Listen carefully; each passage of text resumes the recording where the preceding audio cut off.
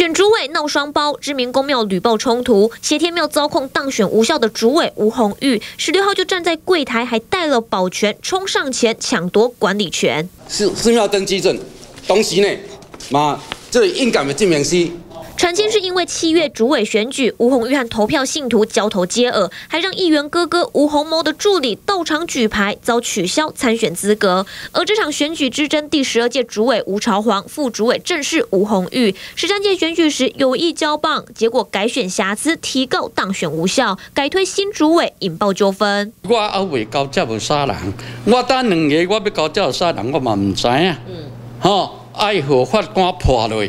我讲话多常爱去，哈，移交好人。宜兰礁溪协天庙，光是去年的香油钱就超过九千万。而吴宏玉还有政治后台，是前立委李淑芬的儿子，还是议员吴宏谋的弟弟。但他强调纠纷与家人无关。委员会三成以后，因就自然就下台啊嘛，所以无交这个问题。讲伊平是讲伊拢合法的啦。如果你也合法，你就唔免来叫遐济保全来遮，强要来抢柜台。保佑信徒平安的公庙却发生主委纷争，黑衣人进入香客大楼，看在神明和信众眼中，恐怕早已背离信仰初衷。记者台北宜兰综合报道。蔡政府关中天，言论自由已死，新闻自由已死，请立刻订阅、按赞、分享、开启小铃铛，中天电视 YouTube 频道。